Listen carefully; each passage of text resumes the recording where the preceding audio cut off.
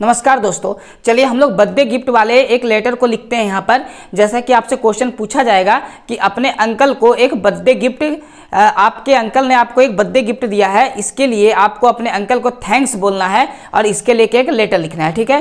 तो अपने अंकल को बर्थडे गिफ्ट देने के खुशी में आपको क्या लिखना है? एक लेटर जिसमें आप अपने अंकल को थैंक्स बोले, यानी धन्यवाद दे, ठीक है? चलिए तो हम लोग देखते हैं कि आपको लेटर को लिखना किस तरह है।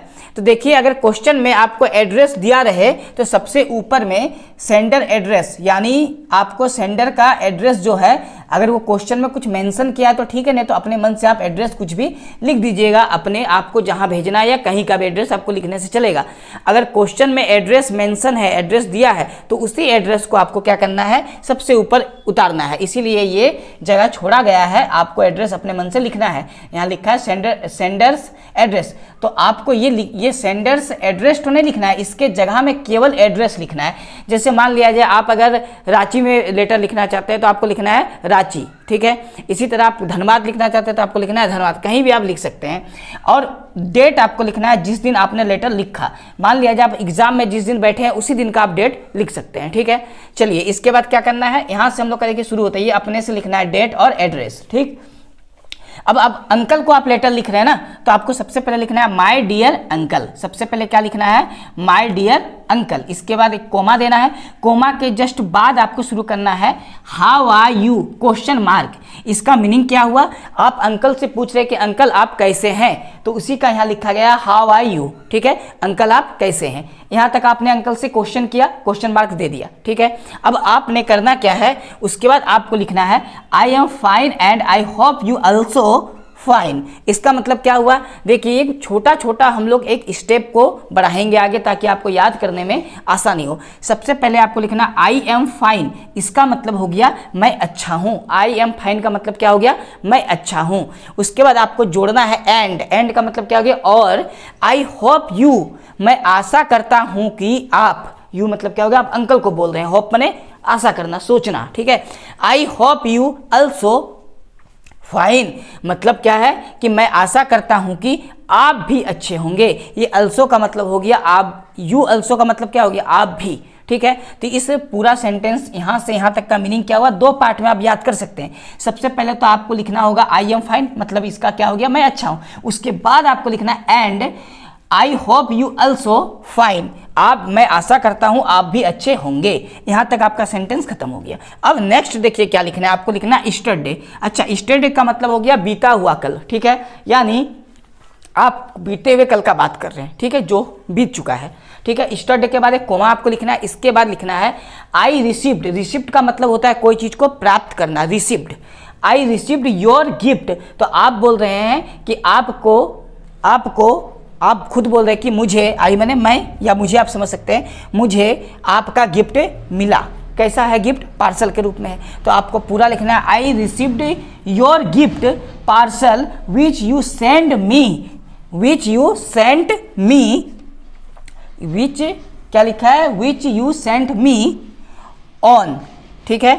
माई बर्थडे क्या हुआ इसका मीनिंग पूरा देखिए। तो आपको लिखना है कि मुझे आपका गिफ्ट, पार्सल गिफ्ट जो आपने भेजा था, मुझे आपका पार्सल गिफ्ट क्या हो चुका है? मिल चुका है जो यू, मैंने आप, जो आप सेंड मी मतलब जो आपने भेजा था, किसके लिए? Send me on my birthday मेरे बर्थडे के लिए आपने जो भेजा था पार्सल गिफ्ट, वो मुझे क्या हो चुका है? मिल चुका है। कब मिल चुका है? स्टरडे को ही मिल चुका है। क्लियर है यहाँ तक? आपको छोटा छोटा स्टेप में याद करके जाना है। इतना लिखने के बाद आप पैराग्राफ को चेंज करिएगा। इसके बाद लिखा है I got many gifts from my friend क्या हुआ इसका मतलब? आई गोट का मतलब होता है प्राप्त करना, ठीक है? आई गोट का मतलब क्या होता है? प्राप्त करना। I got many gifts from my friends इसका मतलब मुझे अपने फ्रेंड से बहुत गिफ्ट मिले। मैंने मैनी गिफ्ट्स मैंने बहुत प्रकार के गिफ्ट्स मिले, ठीक है? अपने फ्रेंड से मुझे बहुत ही या अधिक या भिन्न भिन्न प्रकारों का क्या मिला? गिफ्ट मिला। उसी को यहाँ लिखा गया I got many gifts from my friends but मतलब यहाँ कह रहा है, लेकिन but yours is yours is का मतलब आपका yours is the best of all लेकिन आपका जो गिफ्ट गिफ्ट जो था आपका, वो सब में क्या था? सबसे बेस्ट था, सबसे अच्छा था। यानी फ्रेंड्स के द्वारा तो बहुत सारा गिफ्ट मिला, लेकिन उन सारे गिफ्ट्स में आपका गिफ्ट क्या था? एकदम बेस्ट था। इसी सेंटेंस को यहाँ से यहाँ तक लिखा गया है, जो लिखा I got many gifts from my friends but yours is the best of all, ठीक है?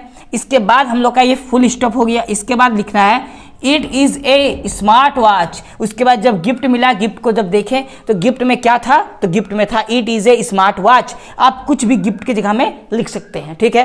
तो ये गिफ्ट क्या था? It is a smart watch था, ठीक है? इसके बाद फुल स्टॉप देना है। उसके बाद लिखा हुआ है, आपको लिखना है everyone liked it very much everyone liked it very much का मतलब हो गया।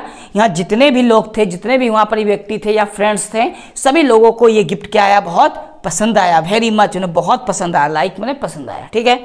उसके बाद फुल स्टॉप के बाद आपको लिखना है this watch is a symbol of your love for me इसका मतलब हो गया, आपने जो ये गिफ्ट दिया है, जो आपने वॉच दिया है, जो आपने स्मार्ट वॉच दिया है यह एक तरह से क्या है?